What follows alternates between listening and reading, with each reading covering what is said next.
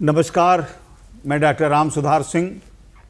बाबा साहब डॉक्टर भीमराव अंबेडकर के 132वें जयंती वर्ष के अवसर पर वाराणसी दूरदर्शन के इस स्टूडियो में बाबा साहब के व्यक्तित्व और कृतित्व पर बात करने के लिए हम यहाँ उपस्थित हैं और उन पर बात करने के लिए हमारे साथ हैं हमारे बिल्कुल बाएँ तरफ़ प्रोफेसर महेश प्रसाद अहिरवार जी जो प्राचीन भारतीय इतिहास संस्कृति एवं पुरातत्व विभाग काशी हिंदू विश्वविद्यालय वाराणसी में प्रोफेसर हैं।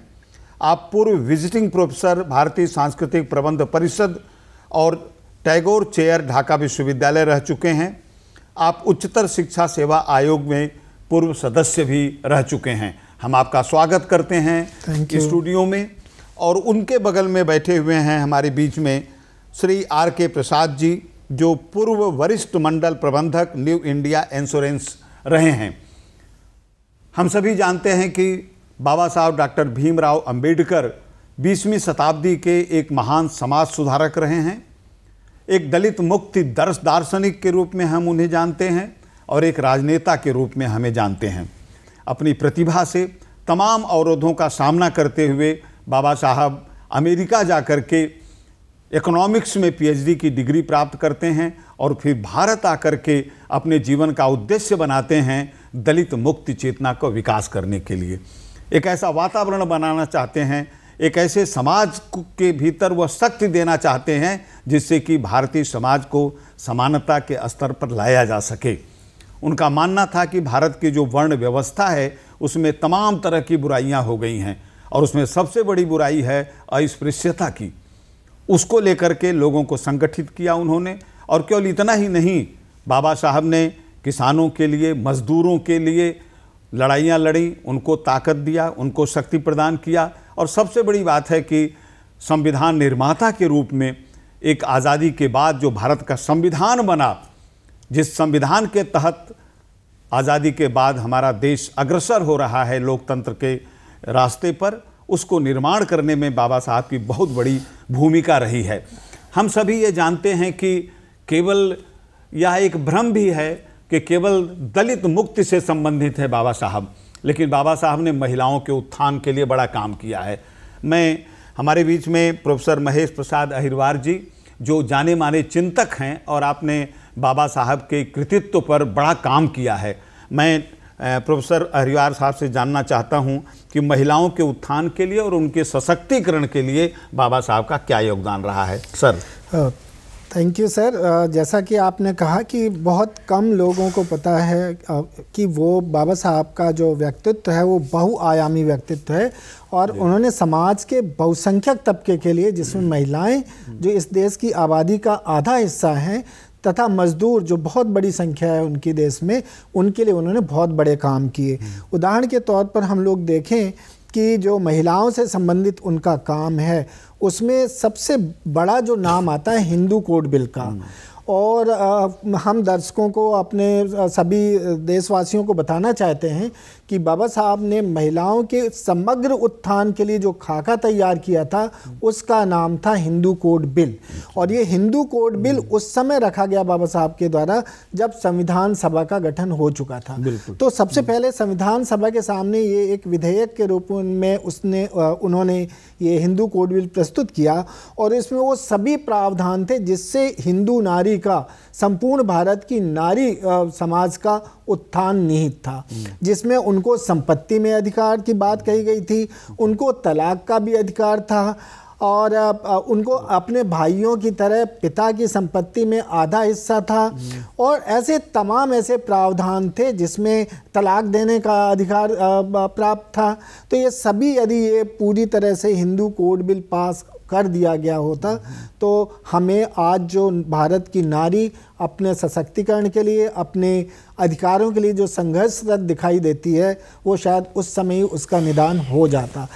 दुर्भाग्यपूर्ण ढंग से हम कह सकते हैं कि उस समय बाबा साहब ने उन्नीस सौ सैंतालीस में संविधान के सम, आ, सभा के सामने ये बिल पेश किया था अप्रैल माह में और उन्नीस सौ इक्यावन तक उस पर कोई चर्चा नहीं हुई। पहली बार 1951 में वो बिल रखा गया था पार्लियामेंट के सामने, लेकिन उसका पुरजोर विरोध हुआ। उसमें बहुत तरह के भ्रम पैदा किए गए और संसद के भीतर और बाहर भी इस तरह का दुष्प्रचार किया गया कि ये हिंदू महिलाओं को जो संपत्ति और तलाक जैसे अधिकार बाबा साहब दे रहे हैं, वो हमारे शास्त्रों के खिलाफ है।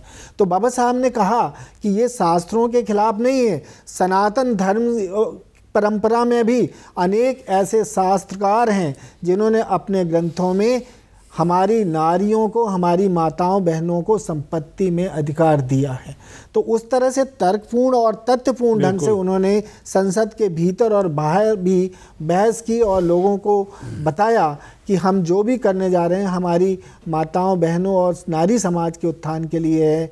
ये किसी धर्म और उसके खिलाफ नहीं है। इससे महिलाओं का समय हिंदू कोड बिल पास नहीं हुआ। उस समय हिंदू कोड बिल पास नहीं हो सका। यद्यपि जो बाबा साहब ने जो पूरा खाका तैयार किया था बाद की सरकारों ने समय समय पर अनेक बिल पास किए जो महिलाओं के उत्थान के दिशा में आ, मील का पत्थर साबित हुए। सबके पीछे वही है हिंदू कोड कहने का अर्थ है कि आज महिला हर क्षेत्र में जो आगे विकास कर रही है या एक वह स्वतंत्रता महसूस कर रही है वह सशक्त हुई है नारी उसके पीछे बाबा साहब की सोच रही रही है। उन्होंने वह भूमिका दी थी भले वह हिंदू कोड बिल पास नहीं हुआ हाँ, लेकिन उसके टुकड़ों में उसके प्रावधान पास हुए। प्रावधान पास हुआ सर। आपसे हम और बात करेंगे मजदूरों और किसानों का। लेकिन इसी बीच में थोड़ा सा आपसे रुकावट के लिए क्षमा चाहते हैं कि मैं आर के प्रसाद जी से जानना चाहता हूँ कि संविधान निर्माता के रूप में उनकी और क्या विशिष्ट भूमिका रही है उसे आप संक्षेप में हमारे दर्शकों को बताएँ। धन्यवाद सिंह साहब डॉक्टर साहब। देखिए हमारे देश में बाबा साहब को मात्र एक दलित उद्धारक और संविधान निर्माता के रूप में देखा गया। आम लोग जो है कि बाबा साहब को केवल यही इसी नाम से जानते हैं। जैसा कि डॉक्टर साहब ने कहा अभी कि बाबा साहब नारी उत्थान के लिए कितना काम किया, देश के अखंडता, एकता, अखंडता को के लिए कितना काम किया, और क्षेत्र में बाबा साहब का बहुत विकास है। आपको पता होना चाहिए कि बाबा साहब, लोग कहते हैं कि बाबा साहब ने केवल संविधान निर्माता में बहुत लोग थे, बाबा साहब उनके साथ कई मेंबर थे। आपको बताते हैं कि संविधान प्रारूप समिति के सात सदस्य थे। सात सदस्य थे, नियुक्त हुए, बाबा साहब अध्यक्ष थे। लोग और उसमें हुआ क्या कि सारा संविधान बनाने की पूरी ज़िम्मेदारी बाबा साहब पर आ गई। अच्छा पूरी उनकी थी पूरी ज़िम्मेदारी बाबा साहब पर आएगी। मैं दावे से कहता हूँ कि बाबा साहब ने एक एक बिल को एक एक अनुच्छेद को उन्होंने इसमें कुछ के मुंशी जी कुछ चीज़ों को और की और बी एन राव साहब। बाबा साहब के साथ जो है कि थोड़ा काम किए हैं। बी एन राव साहब का जो है बहुत बड़ा वो आर्टिकल्स देश विदेश सारी चीज़ें जो है कि अनुच्छेद ये सब कलेक्शन का काम उन्होंने किया है। सर भारत देश उस समय टुकड़ों टुकड़ों में था एक संपूर्ण अखंड भारत हमारे सामने नहीं था और संविधान को बनाते समय उसके निर्माण करते समय यह दृष्टि ज़रूर रही होगी। जी। तो उस अखंडता को लेकर के बाबा साहब का क्या सोच बाबा साहब ने हमारा देश विषमताओं का देश है। जैसे आप देखते हैं कि क्षेत्र भाषा आज संस्कृति तमाम चीज़ों से हमारा देश बहुत ही अलग है। कभी आप साउथ को देखिए तो उसका कल्चर का है। साउथ लोग कहते हैं रामचंद्र शुक्ल ने कविता कहा था कि कोस कोस पर बदले पानी चार कोस पे बानी। हमारे देश में परिलक्षित होता है। और बाबा साहब ने देश की अखंडता के लिए उतना काम किया, आज संविधान नहीं होता तो हमारा देश शायद खंडित हो गया होता। बाबा साहब ने पूरे विषमताओं को एक माला के रूप में पिरोया है। हमारे देश की अखंडता केवल संविधान की वजह से है, जो संविधान बाबा साहब की देन है। संविधान में सर, संविधान में एक समानता की बात जो है कि भारत का हर नागरिक समान है। तो बाबा साहब की एक बड़ी सोच थी और इसमें हम सब लोगों को उनके उस सोच को उनके विज़न का सम्मान करते हुए कम से कम ये जो असमानता देश में है इसको ज़रूर दूर करना चाहिए। सर बाबा साहब के विचारों का अनुपालन करने के लिए संविधान के अनुरूप काम करने के लिए हमारी जो सरकारें चुनी गई शुरू से लेकर आज तक उनकी इच्छा शक्ति नहीं रही। आज हमारे देश में अगर ये सबसे बड़ा काम सरकार का है कि देश में समानता, एकता, अखंडता को बनाए रखने के लिए हर मनुष्य को समान रूप से शिक्षा, स्वास्थ्य पर विचार कराया जाए। और आप जैसा देखते हैं कि हर नागरिक को पढ़ने, लिखने का अधिकार है। देश में कहीं भी संविधान के अनुसार स्वतंत्र है बातचीत बोलचाल रहने बसने सबका। शिक्षा के संबंध में भी हमें बाबा साहब के विचारों का सम्मान करते हुए जैसी उनकी सोच थी उसके आगे हमें शिक्षा पर भी बच्चों की शिक्षा पर भी काम करना करना चाहिए। चाहिए। सर ये शिक्षा देखिए शिक्षा तो हमारे देश की मूलभूत इस समय सर एक बड़ा सवाल सर मैं इसमें जोड़ना चाहूँगा हाँ, कि ये जो अभी हाल के वर्षों में जो सरकार ने किया है हाँ। प्राथमिक शिक्षा को अनिवार्य कर दिया हाँ। ये बाबा साहब ने संविधान निर्माण के समय ही इसको जोड़ दिया था हम्म। कि सभी चौदह वर्ष तक के बच्चों को प्राथमिक और अनिवार्य शिक्षा होनी चाहिए। बिल्कुल। ये बाबा साहब बिल्कुल बिल्कुल। बहुत बड़ी हाँ, बात है ना। बाबा साहब भीमराव अंबेडकर का भाषा को लेकर के विशेष करके हिंदी भाषा को लेकर के उनकी सोच क्या थी? क्योंकि उस समय प्रदेश के आधार पर भाषा भाषा के आधार पर प्रदेशों का विभाजन हुआ जिसका खामियाजा हम आज भुगत रहे हैं। तो हम प्रोफेसर महेश प्रसाद जी से जानना चाहेंगे कि भाषा के संबंध में भीमराव अंबेडकर जी की क्या सोच थी क्या चिंतन था? इस विषय में आप थोड़ा सा विस्तार से बात करें हम लोगों से।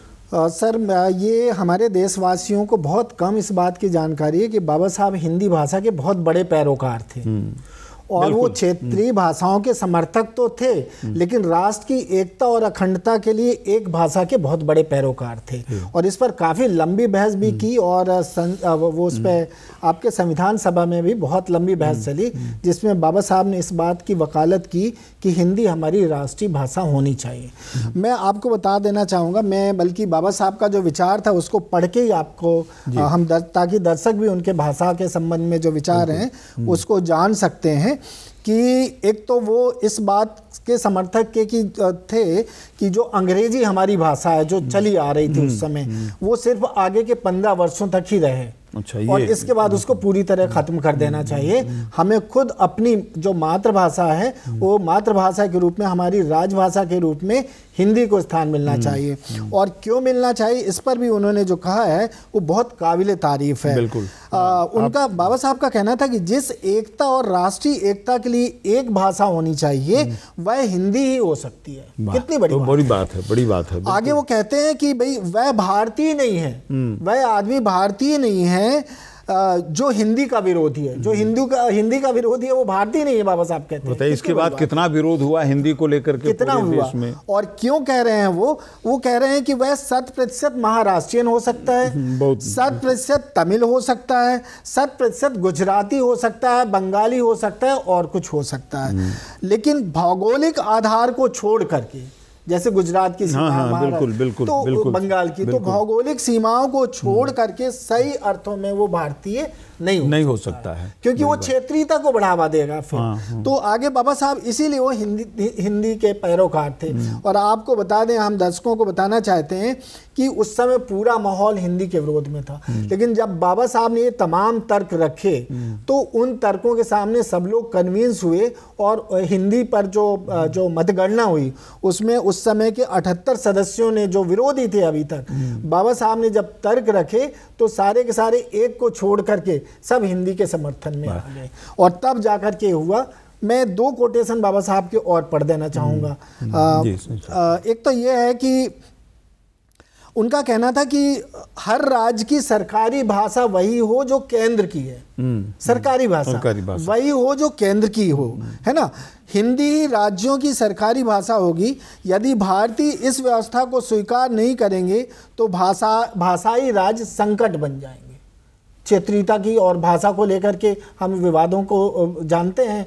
तो यदि हम हर राज्य की अपनी भाषा होगी तो स्वाभाविक तौर पर राष्ट्रीयता की भावना कमज़ोर होगी। इसलिए वो कहते हैं कि एक जो भाषा केंद्र की हो वही राज्यों की सरकारी भाषा भाषा के संबंध में जो भीमराव अंबेडकर जी का विचार था उसको बहुत संक्षेप में डॉक्टर साहब उसको हम सबके सामने प्रस्तुत कर रहे थे।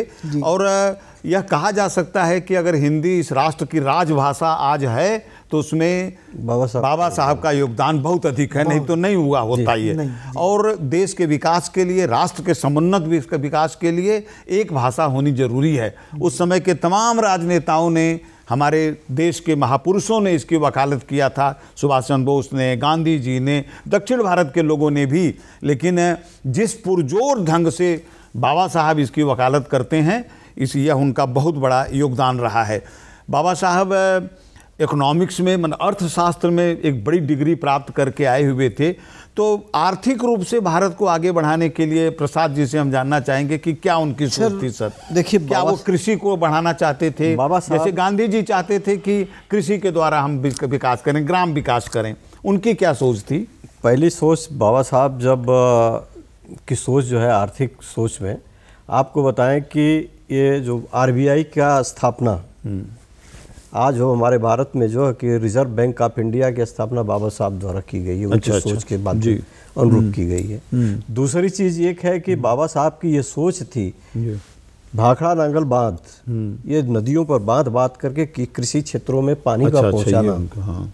और बाढ़ को रोकना और बाढ़ की पानियों को रोक करके उसका उपयोग करना बाबा साहब की सोच से जो भाखड़ा नगर बाँध अपने समय में उनके द्वारा वो स्वीकृति किया गया था। और बाबा साहब सबसे बड़े काम ये करना चाहते थे कि वो कृषि को राष्ट्रीयकृत करना चाहते थे।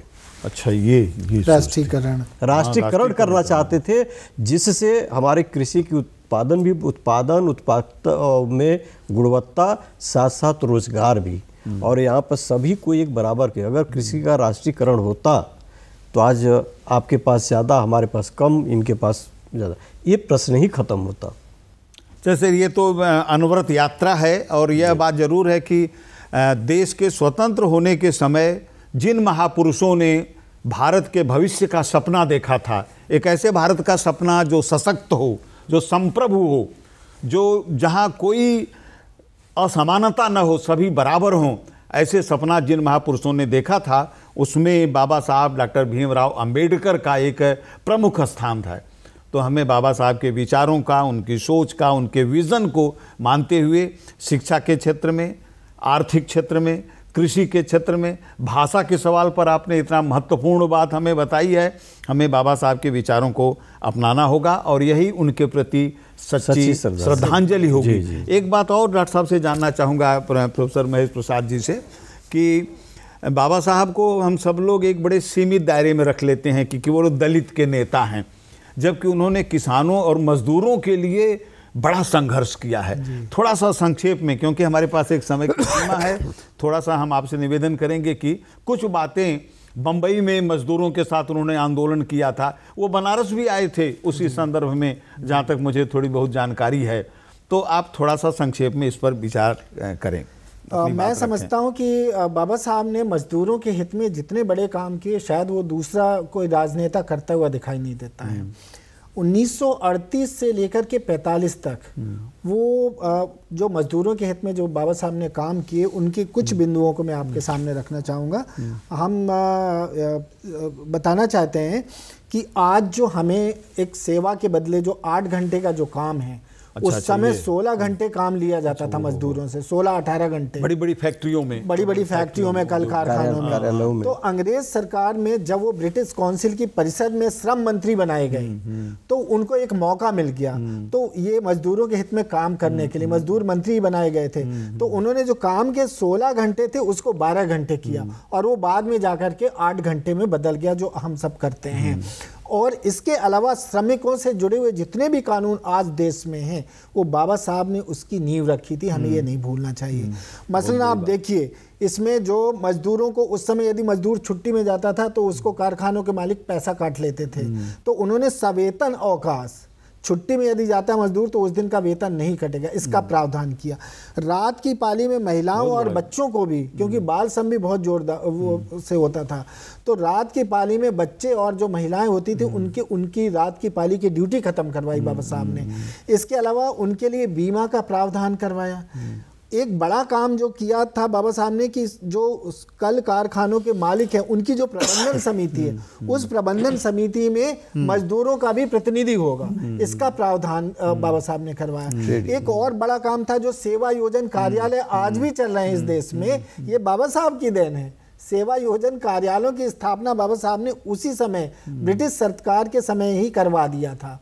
और इसके अलावा जैसे जो महिला श्रमिक हैं। उन श्रमिकों को जो प्रसव का के पूर्व और बाद के अवकाश मेटर्निटी लीव का जो प्रोविज़न हाँ, है बाबा साहब ने 1942 में ही करवा लिया था आप अंदाज़ा लगाइए। और वो यद्यपि वो पहले चार सप्ताह का था आजकल कुछ ज़्यादा हो गया है लेकिन उसकी आधारशिला। एक और बहुत बड़ा काम बाबा साहब ने महिलाओं को के लिए किया कि यदि वो छोटे बच्चे लेकर के मजदूर जा रही है है ना तो उसके लिए वही उसके कार्यस्थल में क्रैच की व्यवस्था। अच्छा अच्छा। ये बाबा साहब ने किया। अगर उसका बच्चा है वहाँ जा रहा है तो तो उसकी उसके लिए क्रैच की व्यवस्था कर, कारखानों के मालिक करेंगे। तो ये बहुत बड़े काम बाबा साहब ने श्रमिकों के लिए किए और वो चाहे महिला श्रमिक हो या पुरुष श्रमिक हो काम के घंटे मैटरनिटी के अवकाश सवेतन अवकाश के इस तरह का जो प्रावधान हुआ ये बाबा साहब का और बाबा साहब ने तो खुद एक बनाया था स्वतंत्र मजदूर दल की स्थापना की थी। और इस तरह से हम देख सकते हैं कि उनका सचमुच उनका जो व्यक्तित्व है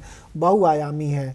इन जो बहुत सारे अनछुए पहलू हैं उन अनछुए पहलुओं पर भी प्रकाश डालने की ज़रूरत है।